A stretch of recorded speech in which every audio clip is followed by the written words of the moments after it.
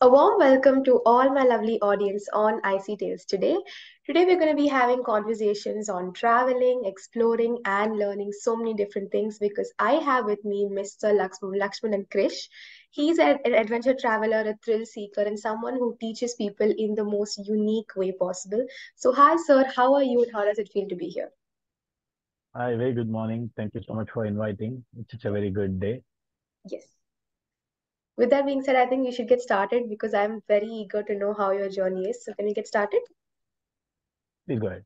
Yes. So, uh, let's just begin by getting to know each other. So, I saw on your Instagram you do so many different things. So, tell us something about what you Mhm. do for a living. Actually, to be honest, I don't do anything much. I just uh, eat, sleep, uh, uh, travel, and teach. Right. so I'm a foodie. I explore a lot uh, wherever there are uh, good tasty food. When I hear about it, and then I go all the way. Sometimes we go cycling all the way, or sometimes we drive and uh, we go and explore the food. food is one part.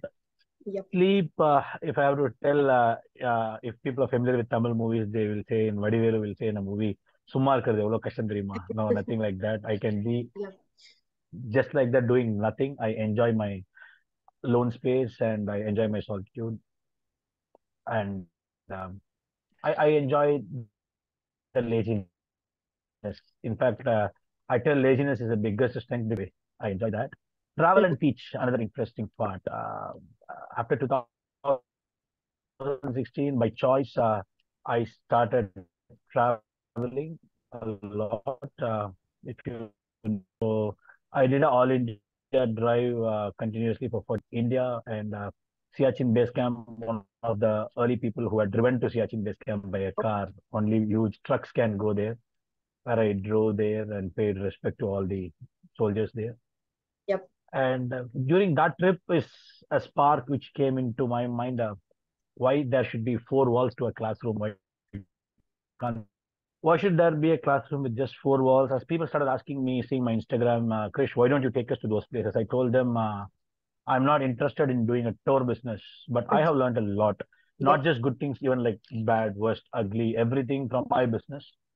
So if you want to learn all those things, come and join me in my travel. And that's how it started. I started taking people uh, to the mountains, to the forest, to middle of the ocean, showing them real life challenges, and then I started debriefing them how they can apply in their respective businesses. Right. And uh, today that has become a living uh, of uh, making people travel and learn. Yes, very, very interesting concept, I must say. Became a fan of it since day one. So yeah, great job on that.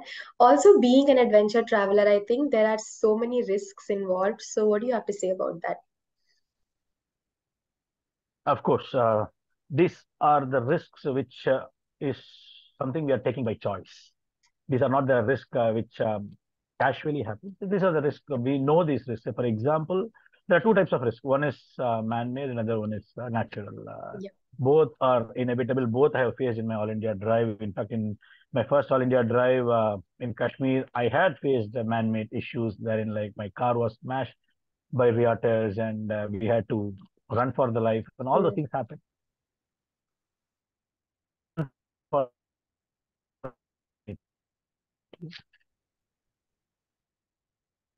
also there are uh, natural risk. Uh, there can be say when you climb mountain choice. Yep. The probability is more here because we make it as a choice. So yes, there are risks, but uh, one thing we need to calculate the risk. We need to predict the risk and play a little safer is what I say. So for example, uh, recently I went for a peak and we started climbing around 11 o'clock in the night Mm. and uh, we started going up and up and up and up. We are supposed to reach a particular point by 6 o'clock so that we reach the peak by 8 o'clock Okay. and then we safely return back. But by the time we reach that particular spot, we call it a shoulder or Right. before the shoulder. We reached there by 8, 8 o'clock. We were two hours late. Oh. And all uh, energies, all your uh, inspirations and motivations go for it. Right. But it is not advisable to go. If I would have chosen to go up, Mhm. if I would have chosen to go up and uh, while return back, maybe I could have encountered an avalanche because the sun is up, fresh snow, it can break. So Yes. we made a decision. We made a decision that we will go back. We'll Mhm. come maybe next year. Okay. okay. The distance would be less than a kilometer. Mhm. Distance would be less than a kilometer. But the time in which we reach there is late, it can Right. put us in a huge risk. Right, right. Uh, you keep your ego aside, you keep your all your Mhm. pushing energy aside, and make a calculative decision. Right. and then get back because mountains are not going anywhere. I can go the next year, but but we need to calculate it, we need to predict it, and then we need to take accordingly our decision. Right. So that's all about keeping the risks in mind and still doing it by choice. So yeah, great job on knowing that. Uh, also, since your work is revolving around going to places and traveling, you must be dealing with something called homesickness. I'm not sure, but if you deal with that, tell us something about it and what do you have to say about that in general? So anything we do, right, uh, beyond the point, that there can be a fatigue. There's no second thought about it. So I, I keep this balance. a lot of people ask, always you're going to the mountains, are you not bored? Uh, I always keep a balance. Uh, I enjoy both man-made luxuries and the natural luxuries. Oh. So I, I keep a balance between two. So any given point of time, except it's a heavy, high altitude peak climb, 15 days I'll be out of home and 15 days I'll be back home. Mm-hmm. Okay. And of course, we always wanted to come back and be with family. You want your own lone time and all those things are there. Yep. With a strike of balance, uh, that homesickness can be overcome.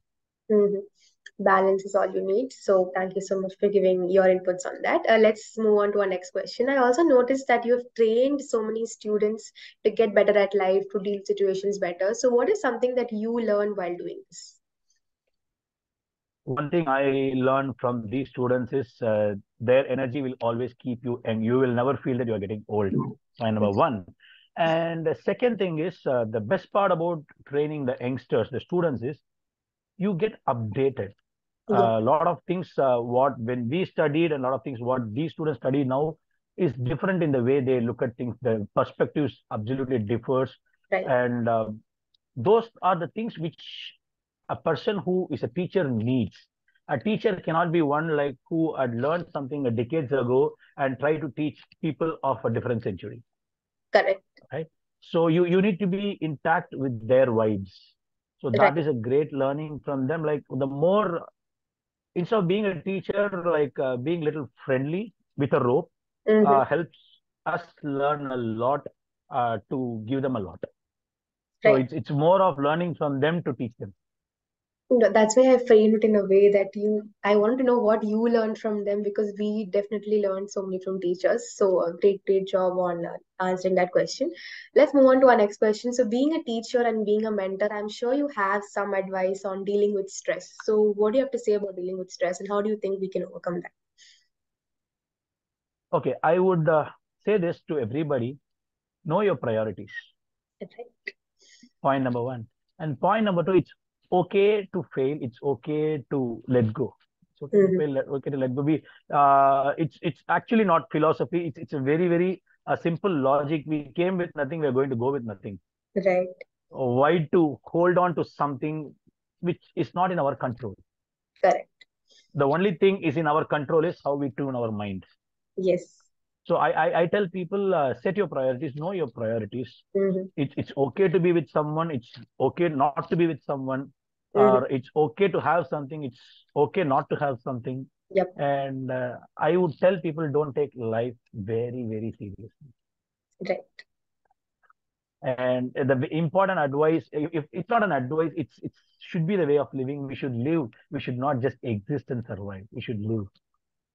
That's what I decided in 2016. Like chasing money, having fame, and all these things took a lot of toll on my mental and physical health. Right. And I'm sure you would have seen my old photographs, which I would have shown in the classrooms. And today, how I am. Mhm. Those days, I was looking looking like I was in my 50s. Yep. There's nothing wrong about being in 50s, but the amount of stress and uh, amount of obesity and all those things, it's it's it's. I invited it. It is not something because of my uh, inherent health issue. Yes. I Right. invited it because of the stress. Yes. So we don't need to take things so seriously. Know your priorities. Know what you need, and Mm. just be for that. That's enough. That's going to make life very simple. Yep. The laziness part helps here because I do not complicate anything because I'm lazy. I, I used to tell these students, I never copy in exams. Forget about the moral part. No. To copy, you need to do a lot of effort. You need to look at the invigilator. You need to look at the paper. You need to beg for the shit and all those things. It Right. takes effort, complication. Why to complicate? Simply study. Write it. Oh, no, don't write. It's okay. There is always a supplementary. Yes. I really like the logic. don't complicate. Right. So thank you very much for giving your insights on stress. I think not just for youngsters, even the adults will have a lot of takeaways from this. So yeah, thank you so much for, sharing your thoughts with that. We've now come to our last question. I'm I'm pretty sure this question is very, very close to your heart. So what does traveling and teaching mean to you, and what is it, what has it brought into your life? First of all, uh, it made me who I am today. The travel and I, I tell people very openly and shamelessly, if somebody would have met me eight years back, they would make their mind they don't want to meet me again. I was super aggressive. I was super Mhm. aggressive. Mhm. Uh, today, a lot of this calmness, humbleness, politeness, um, very sharp thinking, and uh, being very, very thoughtful on my decisions. Correct. All these things, I would say that travel got me. The challenges I faced got me. And uh, I would tell people just pack the bags and go. It's okay. Don't have a plan. Whatever money, the first All India drive, we planned huge Yep. and there were a lot of breakdowns. Me and my Mhm. co-traveler decided let's not take much of money. We'll take whatever smallest amount of money. We did that 48 day trip with that, though the budget was huge, Okay. Right? So that is what travel teaches. Mhm. It gives us a lot of tolerance. Today, a lot of people say people are highly intolerant, but the moment we start traveling without plans, our Right. tolerance level increases. The moment the tolerance level increases, we are all happy. We, Yeah. we, we know what to put Mm. focus on, we know what not to focus on. Right. So traveling and uh, this teaching uh, made me who I am today. So I'm I, that's very close to my heart, and I'm happy about that. Very very happy to see that you love what you, you what you do and you teach people to love what they do as well so thank you so much for that and i think the last 20 minutes we've been having this discussion it was very very knowledgeable and i got to learn so many new insights from you so thank you very much for giving us your time i hope you had a great time doing this with us Absolute pleasure, Hiban. I'm so happy to see you like this. You are doing a lot of stuff. I'm also watching your Instagram. You're doing great stuff and doing events all over. I wish oh. you great success. You need to come in big colors. All the very best, and all the best for all watching this. yes thank you so much sir have a great day